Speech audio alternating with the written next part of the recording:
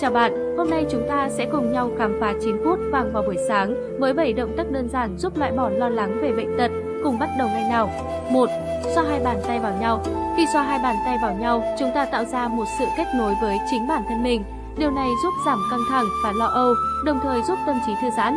Xoa hai bàn tay vào nhau kích thích các huyệt đạo và dây thần kinh ở lòng bàn tay, giúp tăng cường tuần hoàn máu. 2. Massage da đầu. Đây không chỉ là một cách thư giãn tuyệt vời mà còn mang lại nhiều lợi ích cho sức khỏe. Massage da đầu kích thích cường độ lưu thông máu đến vùng da đầu, rất có lợi trong việc phòng chống đột quỵ. 3. Xoa tai. Xoa tai được biết đến là một phương pháp giải phóng stress hiệu quả, giúp giảm căng thẳng.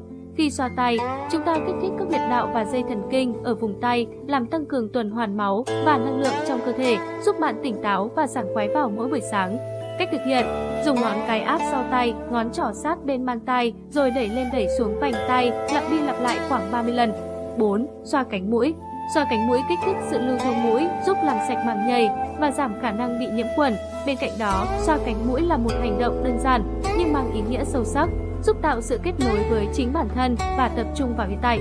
Cách thực hiện, dùng hai ngón tay trỏ vuốt ngược từ chân hai cánh mũi lên, qua sườn mũi đến tận hai đầu mày 30 lần, sau đó dùng ngón trỏ và ngón cái trụng lại, vuốt xuôi sống mũi từ trên đầu mày xuống đầu mũi 30 lần. 5. Xoa bụng Xoa bụng kích thích chức năng tiêu hóa và giúp cải thiện hệ tiêu hóa, giảm triệu chứng khó tiêu và đầy hơi. Ngoài ra, khi xoa bụng chúng ta kích thích lưu thông máu và giúp giảm máu bụng. Cách thực hiện, đứng thẳng hoặc nằm ngửa trên giường, thả lỏng vùng bụng, đặt hai bàn tay lên trên bụng và bắt đầu xoa vòng quanh rốn theo chiều kim đồng hồ, bắt đầu từ góc bên phải bụng, chú ý xoa nhẹ nhàng, dùng lực vừa phải, mỗi lần 20 vòng, thực hiện từ 2 đến 3 lần là được. 6. Vươn người, co duỗi chân tay. Đây là một bài tập giúp tăng độ dẻo và tăng cường sức mạnh của cơ bắp, đồng thời làm tăng cường sự linh hoạt cho cơ thể. Cách thực hiện, đứng thẳng, sau đó giơ hai tay và duỗi chân trái ra phía trước mặt, sau đó thu tay về trước ngực, chân gập lại ở tư thế lò cò, tiếp tục duỗi chân, tay ra phía trước, rồi thu về, làm lần lượt chân trái, rồi chuyển sang chân phải, mỗi bên co duỗi khoảng 20 cái. 7. Cọ sắt lòng bàn chân.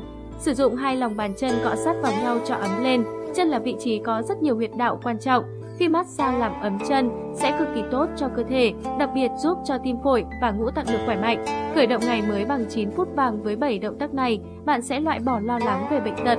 Đừng quên like và nhấn theo dõi góc thực dưỡng để không bỏ lỡ những video hữu ích tiếp theo. Cảm ơn bạn đã đồng hành cùng chúng tôi.